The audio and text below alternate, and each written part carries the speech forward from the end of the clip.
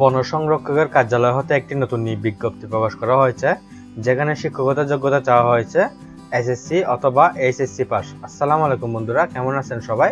আশা করি সবাই ভালো আছেন। আজকে আমি আপনাদের সামনে বরাবরের মতো হাজির হয়েছি বন সংরক্ষকের কার্যালয় চট্টগ্রাম অঞ্চল হতে প্রকাশিত একটি বিজ্ঞপ্তি নিয়ে। তো আজকে আমি ভিডিওতে আলোচনা করব।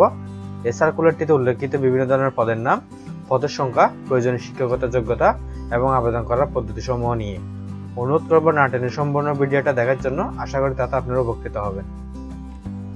ভিডিও শুরুর প্রথমে আপনাদের কাছে আমার বিশেষ অনুরোধ, আপনি যদি আমার চ্যানেলে নতুন হয়ে থাকেন, তাহলে আমার চ্যানেলটি অবশ্যই সাবস্ক্রাইব করে নেবেন এবং পাশে থাকা বেল আইকনটি অবশ্যই বাজিয়ে দিবেন, যাতে করে পরবর্তী চাকরির আপডেট সরাসরি সর্বপ্রথম আপনার কাছে পৌঁছে যায়।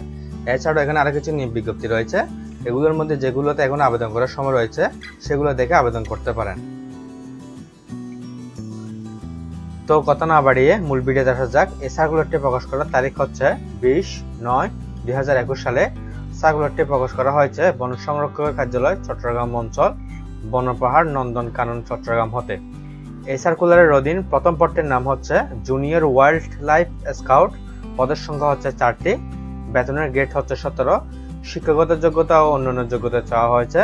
যে কোনো স্বীকৃত বোর্ড হতে উচ্চ মাধ্যমিক সার্টিফিকেট বা সমমানের পরীক্ষা উত্তীর্ণ। এরপরে শারীরিক যোগ্যতা চাওয়া হয়েছে। উচ্চতা একশো তেষট্টি সেন্টিমিটার এবং বুকের মাপ ছিয়াত্তর সেন্টিমিটার। এরপরের পদটির নাম হচ্ছে অফিস সহায়ক। পদের সংখ্যা হচ্ছে সতেরোটি। গ্রেড হচ্ছে বিশ। শিক্ষকতা যোগ্যতা ও অন্যান্য যোগ্যতা চাওয়া হয়েছে। কোনো স্বীকৃত বোর্ড হতে মাধ্যমিক, স্কুল সার্টিফিকেট বা সমমানের পরীক্ষা উত্তীর্ণ। এরপরে বলা হয়েছে, সুস্বাস্থ্যের অধিকারী হতে হবে। যে সকল জেলার প্রার্থীরা আবেদন করতে পারবেন সেগুলো হলো চট্টগ্রাম বিভাগ হতে চট্টগ্রাম, কক্সবাজার, ব্রাহ্মণবাড়িয়া, চাঁদপুর, ফেনী, লক্ষ্মীপুর। তবে এটিমও শারীরিক প্রতিবন্ধী কোটায় চট্টগ্রাম বিভাগের সকল জেলার প্রার্থী আবেদন করতে পারবেন। আবেদন ফর্ম পূরণ ও নিয়োগ পরীক্ষা সংক্রান্ত শর্তাবলীর মধ্যে প্রথমে বলা হয়েছে, পঁচিশ তিন দুই হাজার বিশ খ্রিস্টাব্দ তারিখে আবেদনকারীর বয়স আঠারো থেকে তিরিশ বছরের মধ্যে হতে হবে। তবে মুক্তিযোদ্ধা, শহীদ মুক্তিযোদ্ধা পুত্রকন্যা ও শারীরিক প্রতিবন্ধীদের ক্ষেত্রে আঠারো থেকে বত্রিশ বছর পর্যন্ত গ্রহণযোগ্য। এবং মুক্তিযোদ্ধাদের পুত্রকন্যার পুত্রকন্যাদের ক্ষেত্রে বয়স আঠারো থেকে তিরিশ বছরের মধ্যে হতে হবে। বয়স প্রমাণের ক্ষেত্রে এফিডেভিট গ্রহণযোগ্য নয়। অনলাইনে আবেদন পূরণ সংক্রান্ত নিয়মাবলী ও শর্তাবলীতে বলা হয়েছে, আগ্রহী প্রার্থীকে এই ওয়েবসাইটে গিয়ে আবেদনপত্র পূরণ করতে হবে। আবেদনের সময় শুরু হবে সাতাশ নয় দুই হাজার একুশ সালের সকাল দশটা থেকে এবং আবেদনের সময় শেষ হবে একুশ দশ দুই হাজার একুশ সালের বিকাল পাঁচটায়। উক্ত সময়সীমার মধ্যে ইউজার আইডি প্রাপ্ত প্রার্থীগণ অনলাইনে আবেদনপত্র পূরণের পরবর্তী বাহাত্তর ঘণ্টার মধ্যে এস এম এস এর মাধ্যমে পরীক্ষার ফি জমা দিতে পারবেন। পরীক্ষার ফি হচ্ছে সর্বমোট ছাপ্পান্ন টাকা এবং এই ফিটি জমা দিতে হবে টেলিটক প্রিপেড সিমের মাধ্যমে। ফি জমা দেওয়ার পদ্ধতি এখানে দেওয়া আছে, আপনারা অবশ্যই সেগুলো দেখে নেবেন। এরপরে বলা হয়েছে, প্রবেশপত্র প্রাপ্তির বিষয়টি এই ওয়েবসাইটে দেওয়া হবে অথবা বন অধিদপ্তরের ওয়েবসাইটেও দেওয়া হবে। এবং প্রার্থীর মোবাইল ফোনে এস এম এস এর মাধ্যমে উইদিন ব্র্যাকেটে বলেছেন শুধুমাত্র যোগ্য প্রার্থীদেরকে যত সময় জানানো হবে। অনলাইন আবেদনপত্র প্রার্থীর প্রদত্ত মোবাইল ফোনের পরীক্ষা সংক্রান্ত যাবতীয় যোগাযোগ সম্পন্ন করা হবে বিদায়। উক্ত নাম্বারটি সার্বক্ষণিক সচল রাখা এস এম এস করা এবং প্রাপ্ত নির্দেশনা তাৎক্ষণিকভাবে অনুসরণ করা বাঞ্ছনীয়।